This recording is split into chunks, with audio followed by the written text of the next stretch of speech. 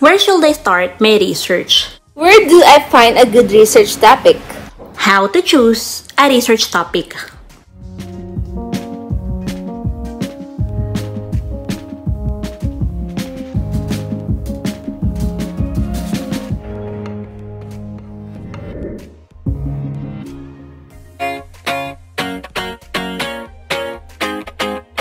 Topic or a research topic is a subject or issue that a researcher is interested in when conducting research. It is something that you are interested in exploring or investigating. Ano ba yung mga hinahanap mo na hindi pa nadidiscover ng iba? Or ano yung mga problema na napansin mo sa paligid mo? Ito yung mga bagay na nais mong malaman na wala pang specific na kasagutan. We narrowed it down to four easy steps. Na kung susundin mo ng tama, you surely have a good research topic.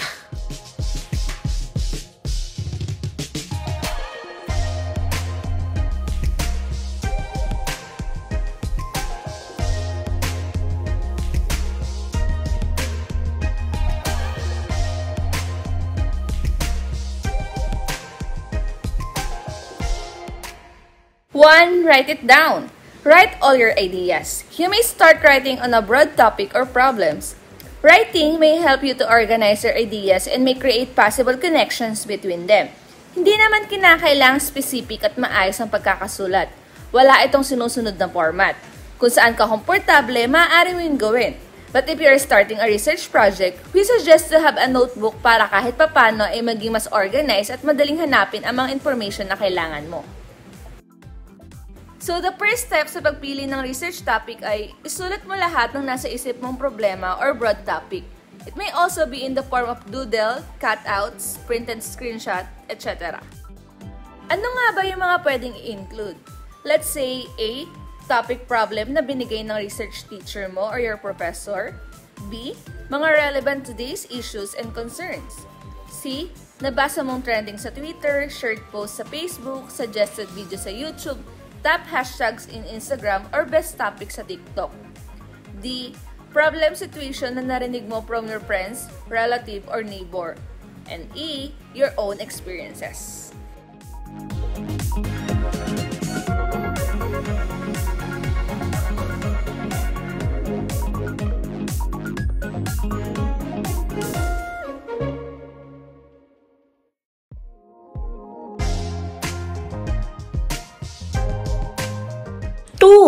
Highlight what interests you the most.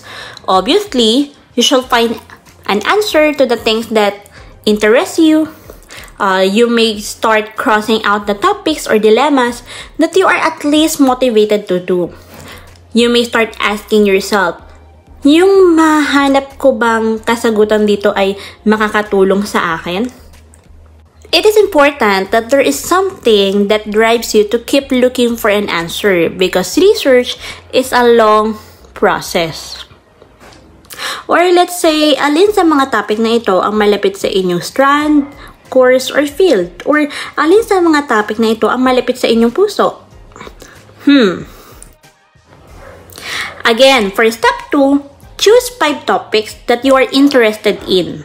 The research process is more relevant if you care about your topic. You pick the topics that fascinates you, something that you want to talk about. Do not spend much time on writing about the topics that bores you.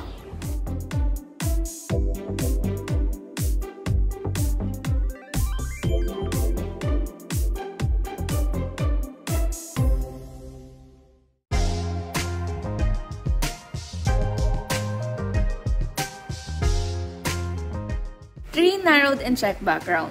Narrow your topic to something manageable. If your topic is too broad, you will find too much information and not be able to focus, but not too narrowed. Enumerate questions that you want to answer on that topic and try to be more specific on your research objectives. Background reading can help you choose and limit the scope of your topic. Mas makakapamili ka ng magandang research topic kung may background ka tungkol dito. Also, when you do initial reading about the remaining topic, it may give you ideas kung paano mo atakihin or what specific problem you sought to answer. remember to read some journal articles. For step 3, from the highlighted 5 broad topics, choose your top 3 narrowed topics.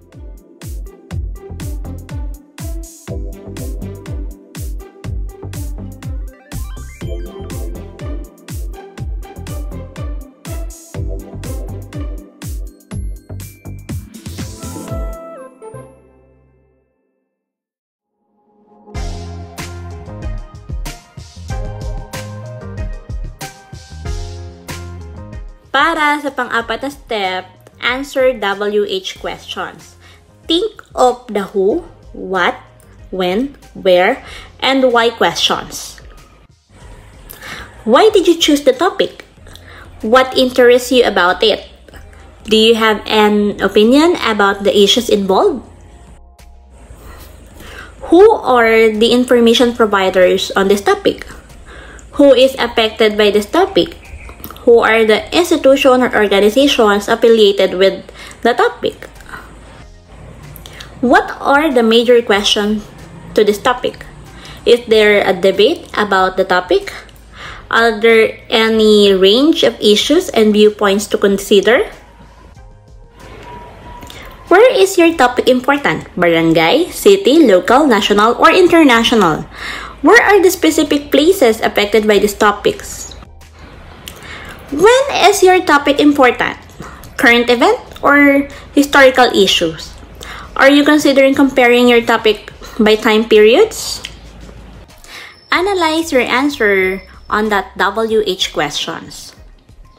And to help you to identify the best topic for your research project, you may talk to your colleagues or friends. Then, schedule a consultation with your research advisor or professor. Remember, to seek professional help from the experts.